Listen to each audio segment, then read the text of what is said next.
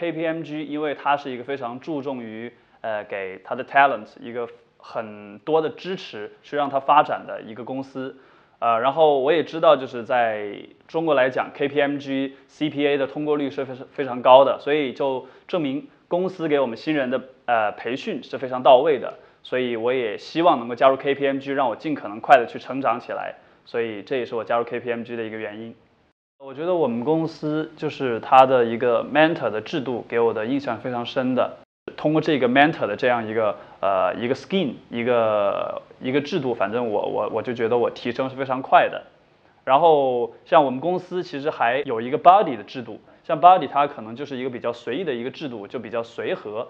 就是工作以外你是怎么样去适应这个公司的文化，就怎么样更快的融入你的角色。那我的 body 当时也是给了我很多的帮助，让我能够快速的跟同事们打成一片，然后去适应 KPMG 的文化。